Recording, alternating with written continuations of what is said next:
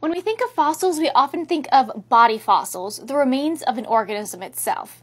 But there are also trace fossils, which are fossils of the biological activity of an organism, such as burrows, trails, or footprints. In this image here, you can see trilobite trace fossils, made when a trilobite is resting and partially buried in muddy bottom sea sediments. These particular trace fossils are about 425 million years old and are found in the Silurian Clinch sandstone in Tennessee.